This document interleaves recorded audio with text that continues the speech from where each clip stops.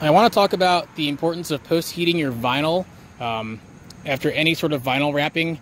Uh, the reason for that is, well, as you saw in that photo, this bottom corner had peeled away uh, and was starting to lift. Uh, what happened was, right after the hood got wrapped, I didn't get a chance to do a proper post heat because it started to rain, even though it wasn't supposed to. And then the rain cooled down the vinyl and it shrank back down. And this entire section here got stretched a lot so that it could go over this, this corner here without having any creases or, or, or folds.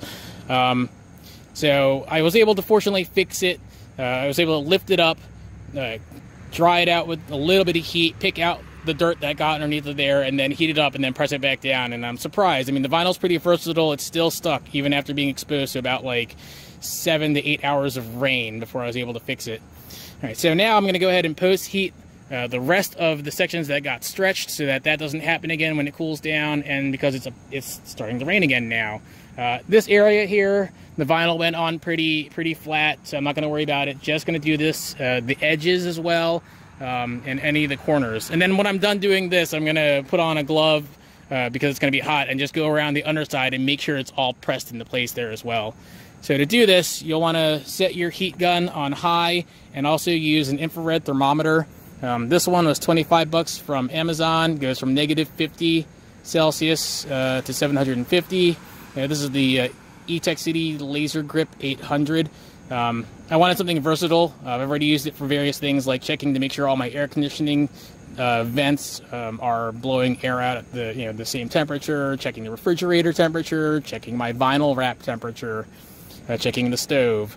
Um, pretty easy to use.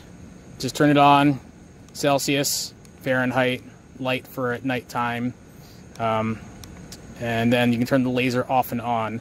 So pull the trigger, you can see the laser, that's the temperature at that one spot. So I'm going to go ahead and set it to Celsius. Now, if you don't want to spend $25, I'll put a link for a $15 one uh, in there as well. It's also got good ratings, it just doesn't measure as high. All right, so now I'm going to go ahead, uh, turn on my heat gun on high. I'm, I, from my experience, I know already that I'm going to have to hold it right about here to get the uh, to get it to be 90 degrees. So I'm going to turn it on.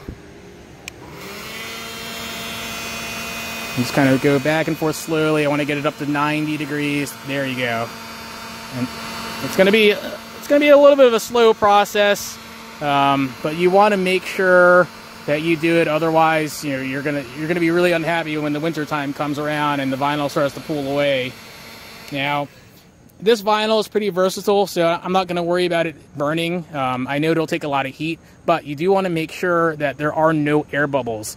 Um, if you see an air bubble or if you see an air bubble start to form as you're post heating, stop and uh, get rid of that air bubble. You can use uh, a, a, really sharp pin to poke a hole and then use your squeegee to work the air out from there. Uh, the problem is if you try to post heat uh, with that air bubble there, it's going to heat up the air underneath, it's going to heat up the air on top, and then it's going to burn the vinyl. So there you go. That's the importance of why you need to do the post heating. Otherwise, uh, you know, when it gets cold out, the vinyl will revert back to its normal shape. So remember, 90 degrees Celsius will make the make the vinyl lose its memory.